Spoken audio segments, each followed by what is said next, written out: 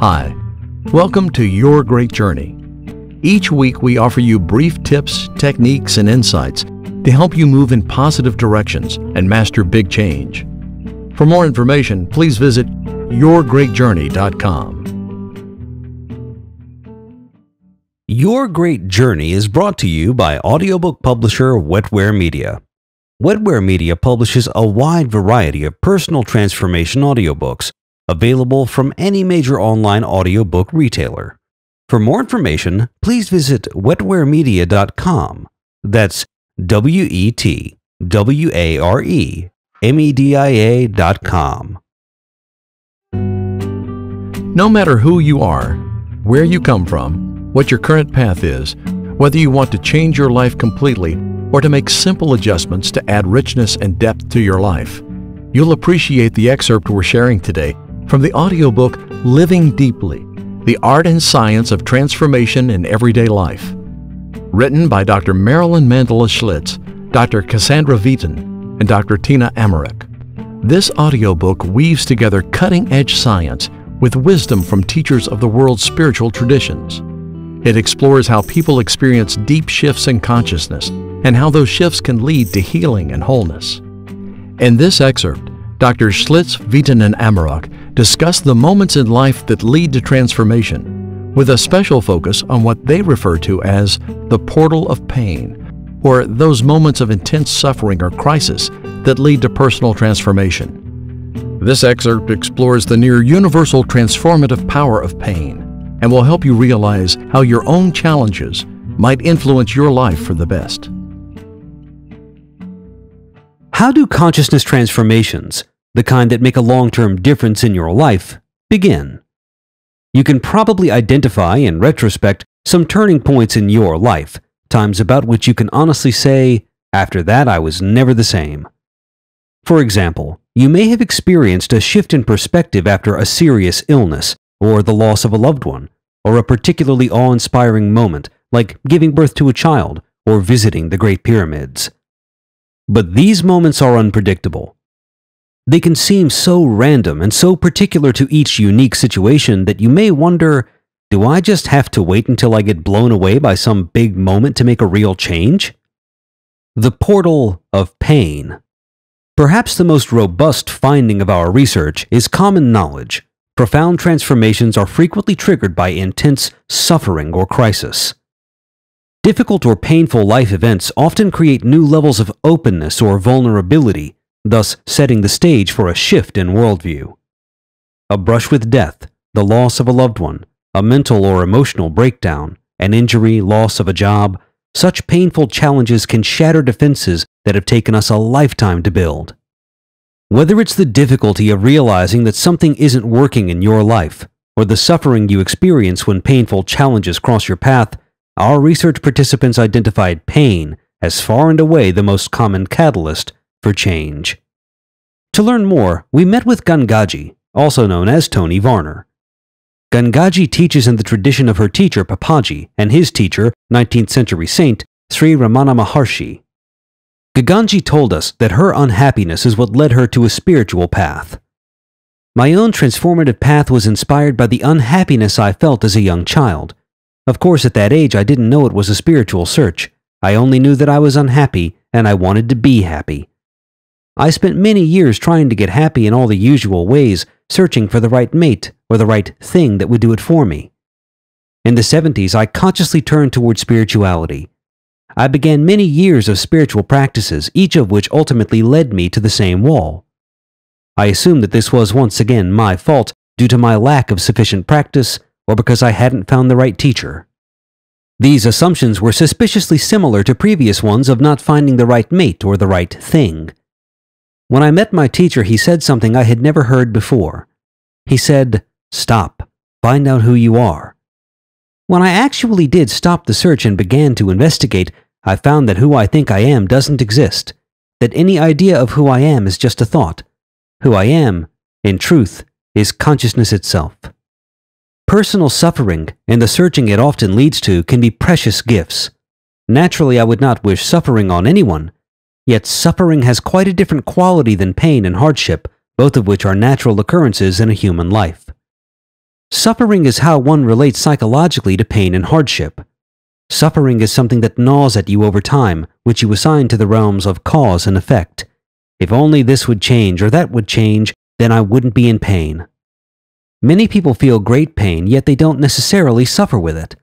Others may feel very little pain and suffer enormously. Regarding my own early unhappiness and suffering, I bow down to it. I'm happy that it wouldn't let me go, no matter how much I fed it with what seemed to be the best medicine at the time. Ultimately, my unhappiness brought me to the meeting with my teacher and to the discovery of direct self inquiry. As the saying goes, change is what happens when the pain of remaining the same becomes greater than the pain of changing. Perhaps you, like many people, only change when you're backed up against a wall, when you're absolutely forced to modify your life.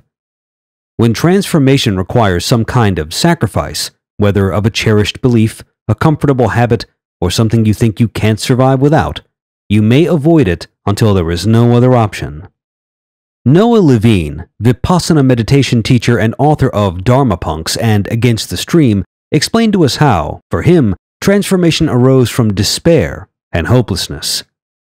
Mostly, I came to my current path and practices, and my interest and willingness to practice meditation and service and prayer out of my own personal despair, suffering, and confusion. I came to a place of hopelessness, to a place of really feeling like everything that I'd thought would work in the material world drugs, violence, pleasure, crime, my own confused attempts to find satisfaction actually led to a great personal despair and suffering. And from that, there was sort of a realization that what I'd been doing was creating more suffering, not less.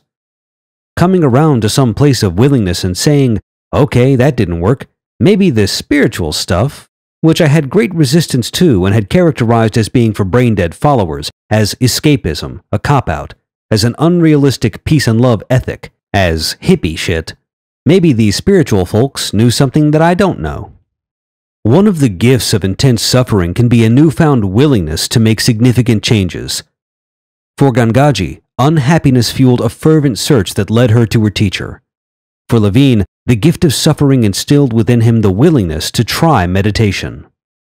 Painful experiences can also uncover a longing that we didn't even know was there, or catalyze a search for something we didn't even know we wanted. As Nancy, a 65 year old retired widow, reported, I had a near death experience while giving blood for myself before a hip replacement surgery. I was in a tunnel that was dark, but I could see the details of the tunnel clearly. I could hear folks telling me to stay with them, but I could feel the flow of life going out of my body through the tunnel.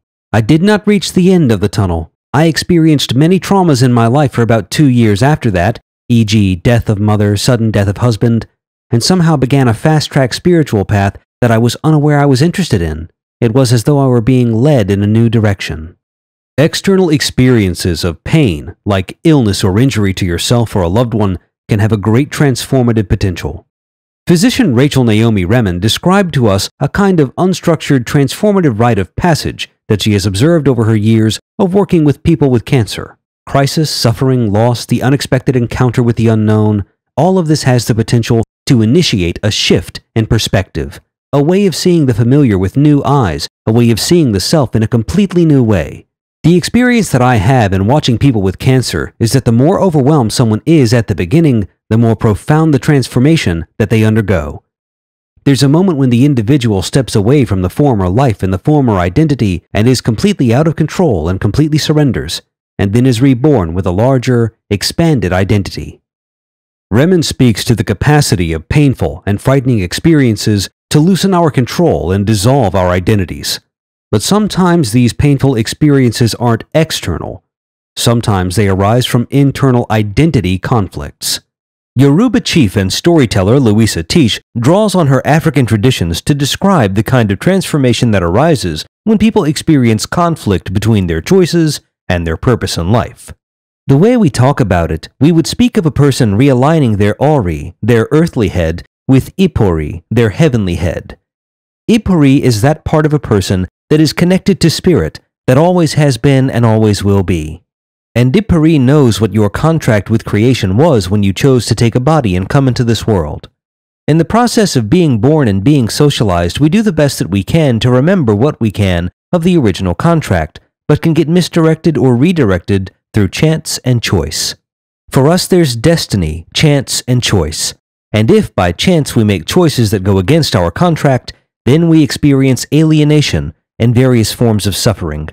Or we have the sense of being lost because we're piling on these things that are not essential to our nature. Then we are struck by lightning.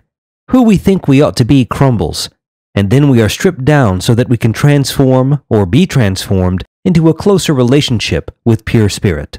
So it's kind of like putting on a bunch of attitudes and thoughts and attributes and experiences that have alienated you from your place in nature.